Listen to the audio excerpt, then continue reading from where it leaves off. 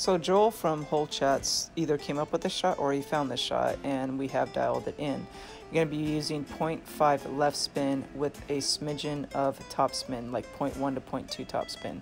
Your white ring is going to be next to the sand bunker and your second bounce is going to be on top of the first little mound.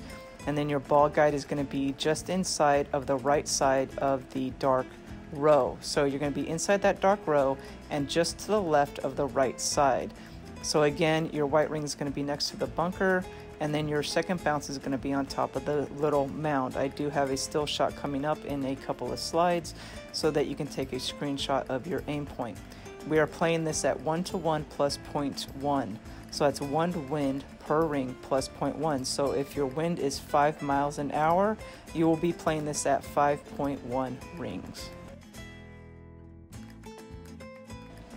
So again, our white ring is going to be next to the sand bunker. You're going to be using 0.5 left spin with 0.1 to 0.2 top spin. Your second bounce is going to be on top of the first mound, and your ball guide is going to be just to the left side of the right side of the uh, dark row. So you're going to be inside that dark row, just to the left of the right hand side, white ring touching the sand bunker. Your second bounce again is going to be on top of that mound, and then you're going to play 1 to 1 plus 0.1.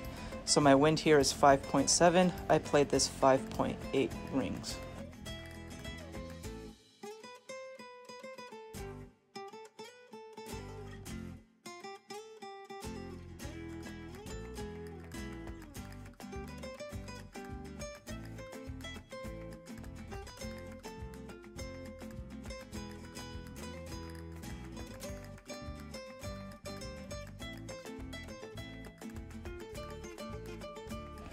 So again, we are using 0.5 left spin with 0.1 to 0.2 top spin, just a smidge of top spin. Your white ring is going to be next to the sand bunker on the right there. And your ball guide is going to be on top of the mound, just on top of the mound, and your ball guide just inside the dark row, um, just to the left of the right hand side. So again, we are playing this at 1 to 1 plus 0.1. So the wind here is 5.9. We played this 6 rings.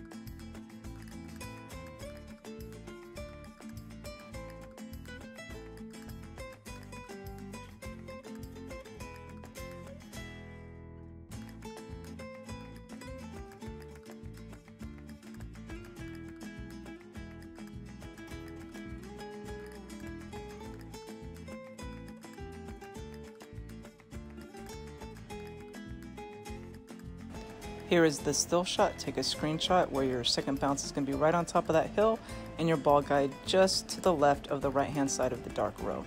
So again, we are playing this with 0.5 left spin, a click of top spin, white ring touching the rough on the right hand side, your ball guide going um, just on top of the mound, just inside the dark row to the left of the right hand side of the dark row, and then you're going to play this 1 to 1 plus 0.1.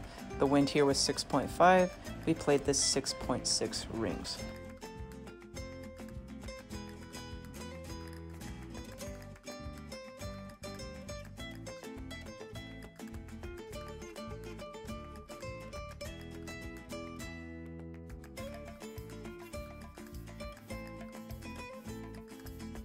And remember guys, hit perfect. Good luck this weekend and happy golfing.